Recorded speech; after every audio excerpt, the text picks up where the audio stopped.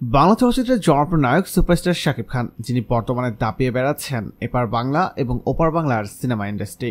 শুধু ঢাকায় ছবিতে নয়, বর্তমানে ওপার বাংলার ছবিতেও নিজের বেশ ভালো অবস্থান তৈরি করেছেন বাংলা সিনেমার জনপ্রিয় নায়ক শাকিব খান। বাংলাদেশের পাশাপাশি কলকাতার দর্শকদের মন জয় করতেও সক্ষম হয়েছেন ঢাকায় সিনেমার কিং খ্যাত সুপারস্টার শাকিব।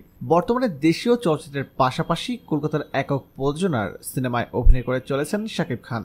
ইতিমধ্যে কলকাতার প্রায় সব জনপ্রিয় নায়িকার বিপরীতে অভিনয় করেছেন তিনি। এমনকি সাকিবের প্রতিটি ছবি এখন কলকাতার সেরা নায়কদের সঙ্গে টক্কর দিয়ে ব্যবসায়িকভাবে সফলতাও পাচ্ছে। যে কারণে কলকাতার পরিচালক এবং প্রযোজকরা বর্তমানে শাকিবকে নিয়ে সিনেমা বানাতে চাইছেন।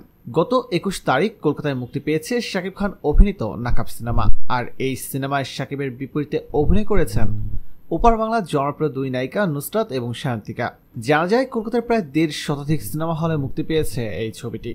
কলকাতা ঘুরে জানা যায়, এই সিনেমাটি সেখানে বেশ ভালোই চলছে। কলকাতা জুড়ে প্রশংসার জোরে ভাসছে শাকিব খান। সম্প্রতি শাকিব খানের নাকাব সিনেমা নিয়ে কথা বলেছেন ওপার বাংলার জনপ্রিয় নায়ক অঙ্কুশ। তিনি বলেন, বাংলাদেশের জনপ্রিয় নায়ক শাকিব খান। আমি শুনেছি, বাংলাদেশের শাকিব খানকে বাংলা সিনেমার কিং বলা হয়। উনি ওখানে অনেক জনপ্রিয় একজন নায়ক। এ সময় তিনি আরও বলেন, আমি ওনার সিনেমার টেলার এবং গান দেখেছি। আমার কাছে ভালো লেগেছে। এ সময় নাকাব সিনেমা নিয়ে তিনি বলেন, এই সিনেমায় সাকিবের বিপরীতে অভিনয় করেছেন নুসরাত ও আমার অনেক ভালো বন্ধু। নুসরাতকে আমার পক্ষ থেকে অনেক অনেক শুভেচ্ছা। সর্বশেষ তিনি বলেন, নুসরাত এবং সাকিবের ছবিটির জন্য শুভকামনা রইল। প্রিয় দর্শক, আপনি কি নাকাব সিনেমাটি দেখেছেন? আপনার কাছে কেমন লেগেছে?